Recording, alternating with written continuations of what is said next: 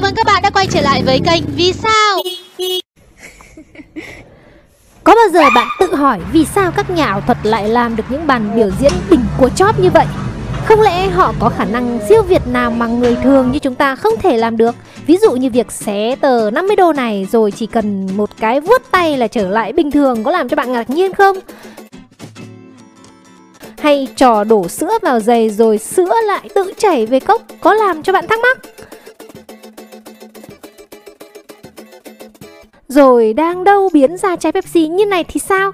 Còn rất nhiều trò ảo thuật tưởng khó mà lại cực dễ Bạn có muốn biết cách làm không? Mời các bạn cùng kênh Vì sao tìm hiểu ngay nhé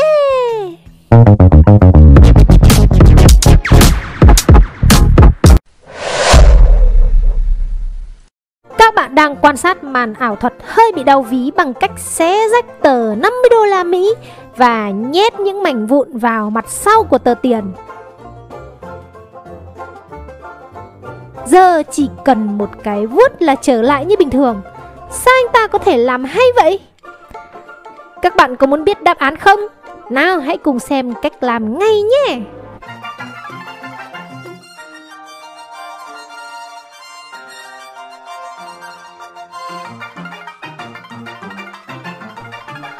Rồi sau khi xem thì sẽ thấy cũng dễ thôi phải không các bạn? Còn chân chờ gì mà không thử thực hành ngay thôi. Nhưng nhớ dùng tiền lẻ hay tiền giả thôi các bạn nhé.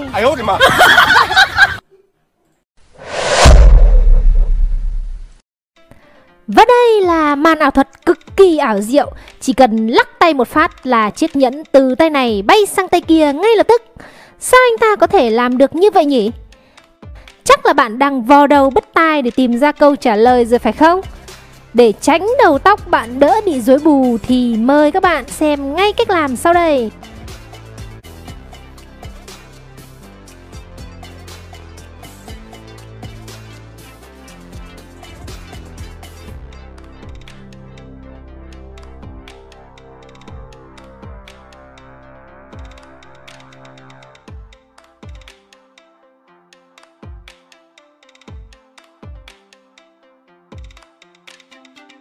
Đấy, sau khi xem xong rồi thì chỉ cần tậu ngay hai chiếc nhẫn giống nhau là có thể làm cho bạn bè lác mắt rồi các bạn nha.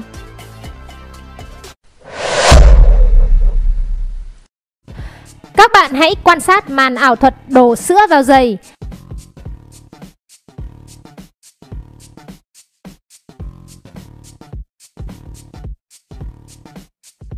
Sau đó dùng cái cốc lúc nãy để vào trong chiếc giày. Chuyện kỳ lạ gì tiếp theo sẽ xảy ra đây? Đó chính là sữa lại nằm gọn trong chiếc cốc nhựa Thật không thể tin được, phải không các bạn? Màn ảo thuật này nhìn thì tưởng khó nhưng cách làm rất dễ. Tôi đảm bảo sau khi bạn xem hướng dẫn xong sẽ hoàn toàn làm được. Lúc đó bạn có thể ghi điểm tuyệt đối với anh em bạn gì dưới nhé. Nào, chúng ta hãy cùng xem ngay thôi.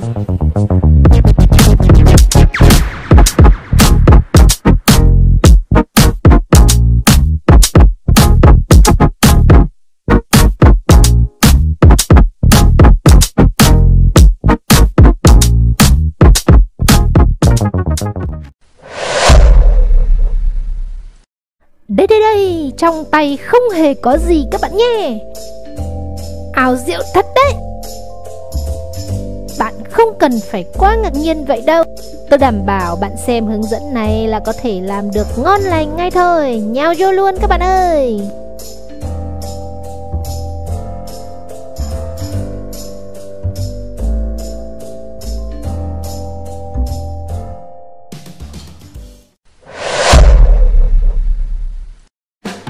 Hãy xem cách di chuyển ngọn lửa bằng tay không như này có thấy ấn tượng không? Tôi tin chắc các bạn sẽ đang hỏi vì sao anh ta có thể làm được như vậy. Nhìn thì cũng khó thật đấy, nhưng cách làm thì lại cực dễ. Mời các bạn xem hướng dẫn ngay sau đây nhé!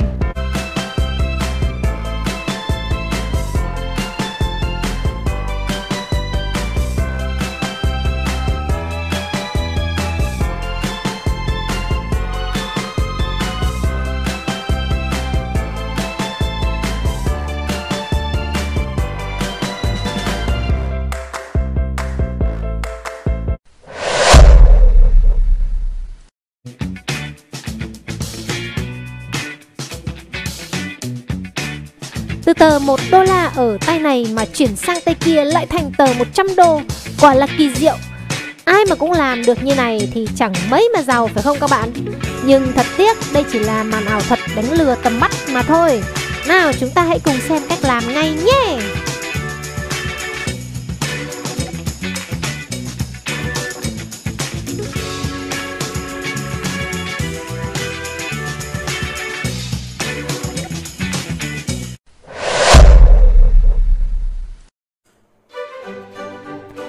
Giờ hãy thử đặt cái kéo lên tờ tiền sau đó đâm thủng nó.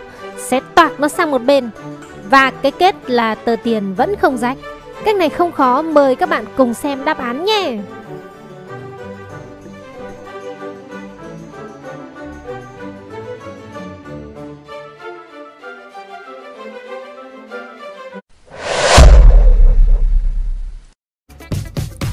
Bạn hãy quan sát cách anh ta làm. Thật lạ, sao que diêm có thể chui vào một cách dễ dàng như vậy? Bạn có muốn làm thử không?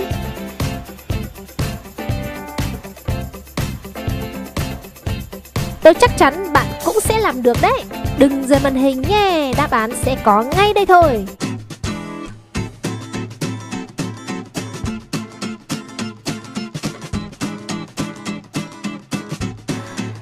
Nếu bạn thấy thích video thì đừng tiếc tặng cho tôi một like và một sub. Cảm ơn các bạn đã theo dõi và hẹn gặp lại các bạn ở video tới nhé. Bye bye.